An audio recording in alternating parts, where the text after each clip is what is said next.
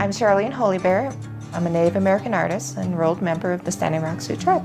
I like it. You like it? You like the turquoise? Mm-hmm. Yeah.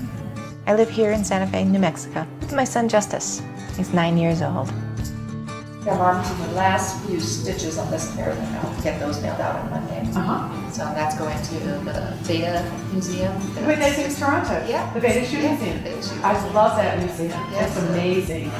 The Beaded Vans, they got started for my son actually. I beaded his first pair for him as I was on my way to Gathering of Nations. Um, I wanted him to have something that he could identify with and would give him a sense of identity at a powwow where hundreds of tribes go. So I wanted to give him something special that would stand out in the crowd. I want him to feel proud, you know, that he belongs with all of these people. He was so excited. He immediately put them on and started running around in them. He especially loved getting his picture taken. That was the fun part. We're very close. We pretty much share everything together. Um, we share art markets. He's here when I'm beading. I ask him, do you like my work? You know, do you think this color will work? And he'll come up and he'll think about it. So he gets a lot of input on my work. A person on Pinterest contacted me and she said, Oh, I saw your son's vans on Pinterest. Would you make me a pair? I said, Sure. Not all the beads are exactly the same. So the process I'm doing right now is called culling. So I'm taking the ones that are most even that would fit within this space. She was the first person who really purchased a pair. And then next thing I know, she was on Instagram. He's showing them off. And after that, another lady purchased a pair for her son. And another native from Minnesota purchased another pair. You know, it just kind of slowly started spreading out. And then Vogue did an article about me.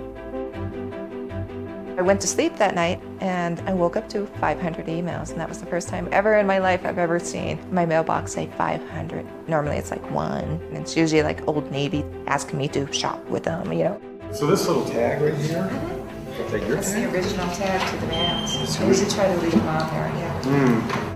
So far, I've done about 15 pairs, uh, including my son's and my own personal pair. On average, I usually tell people it takes two weeks, but I have surprised myself and beaded one side in a day when I'm dedicated and really motivated. I actually do see a connection between the slip-on vans and moccasins. They're kind of constructed the same, and moccasins in our culture were everyday wear. So for me, you know, using slip-ons is kind of like an everyday kind of thing.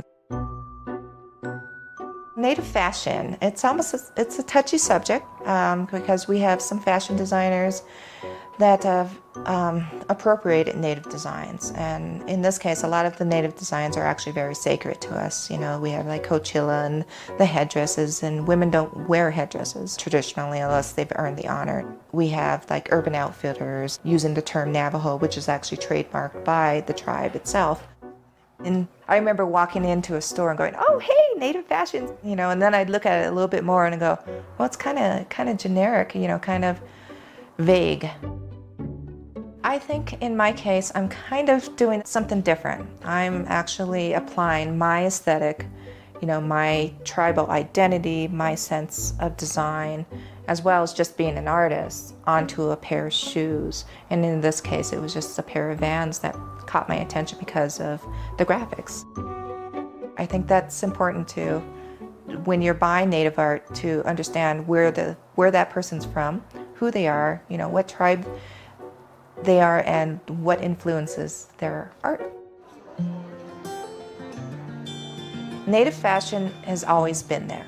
Native fashion is our identity. It's how we tell the world that I am Native American, I'm indigenous, you know, I'm one of the first peoples on this continent. And I hope, you know, conveying that feeling into your native aesthetic creates awareness, you know, that we are still here, we're still fighting, you know, we're, we're not going anywhere.